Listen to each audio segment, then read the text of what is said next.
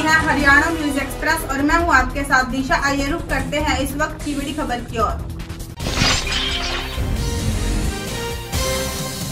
फरीदाबाद में अब तक डेंगू के 126 मामले और मलेरिया के 28 मामले सामने आए हैं। लगातार बढ़ते डेंगू और मलेरिया के मामलों ने स्वास्थ्य विभाग की चिंताएँ बढ़ा दी हैं। इसको लेकर सीएमओ राकेश कुमार ने बताया कि डेंगू और मलेरिया के मच्छरों की रोकथाम के लिए कई टीमों का गठन किया गया है। इसके साथ ही नगर निगम को भी फॉगिंग करने के लिए बोला गया है, जहाँ पर मामले सामने आ रहे हैं। वहाँ पर भी फॉगिंग की जा रही है। फरीदाबाद से हमारे संवाददाता रिंकू शर्मा की रिपोर्ट।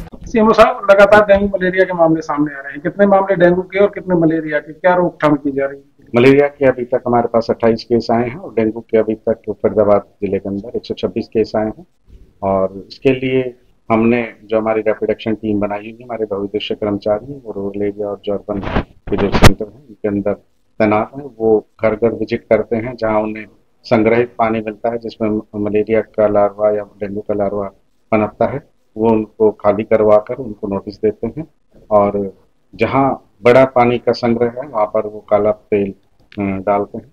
और जहाँ बड़ी मात्रा में मलेरिया, मच्छर का प्रकोप है, वहाँ पर जो कॉरपोरेशन है उनके द्वारा फॉगिंग की जाती है, जहाँ केस निकलते हैं, वहाँ स्वास्थ्य विभाग फॉगिंग करता है। और आपके माध्यम से जो जन फरीदाबाद की जो जनता है, इनसे अनुरोध है कि वो अब जैसे कूलर का समय चला गया है वो अपने कूलर साफ़ करके और वहाँ से हटा दें।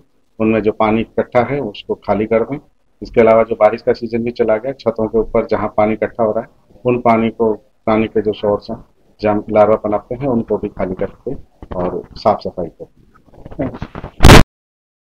हमारे फेसबुक पेज को लाइक फॉलो और शेयर करें। साथ ही यूट्यूब चैनल को लाइक करें सब्सक्राइब करें और ताज़ा खबरों के लिए बेल आइकॉन को दबाना न भूलें।